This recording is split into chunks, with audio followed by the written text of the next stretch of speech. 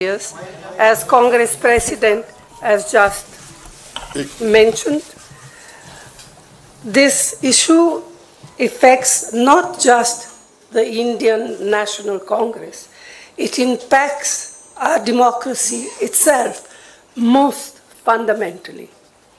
A systematic, systematic effort is underway by the Prime Minister to cripple the Indian National Congress financially.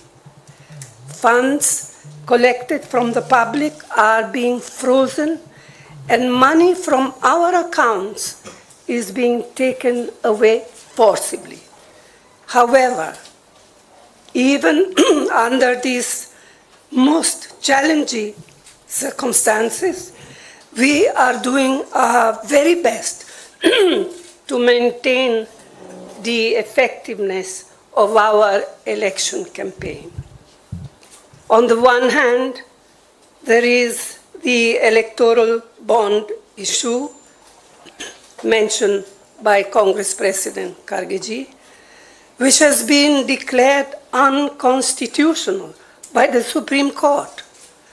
The electoral bonds have benefited, as everyone knows, the BJP hugely massively.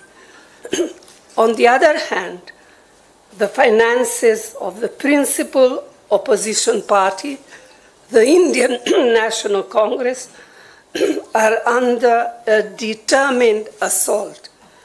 This, we all believe, is unprecedented and undemocratic. Thank you.